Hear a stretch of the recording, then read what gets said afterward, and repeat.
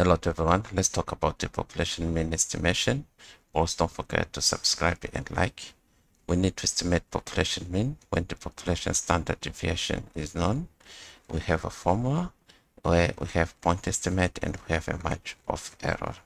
So uh, the population mean would be between the point estimate minus margin of error and the point estimate plus margin of error.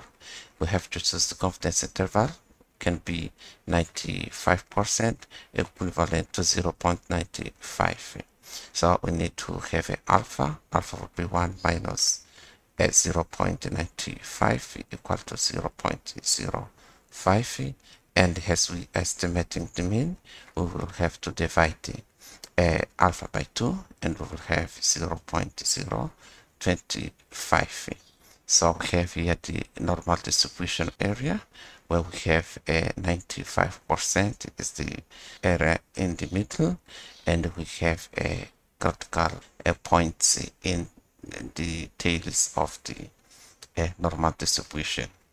So we uh, get the critical value from a normal distribution table and the critical value negative 1.96 and 1.96. We have example the weight of the population living in region A normally distributed with population standard deviation of 5.2 a random sample of 60 is taken and the mean is 68 estimate population mean with 95% of confidence. We have a mean of sample. We have a standard deviation of the population. We have a size of sample and we need to estimate the mean of the population.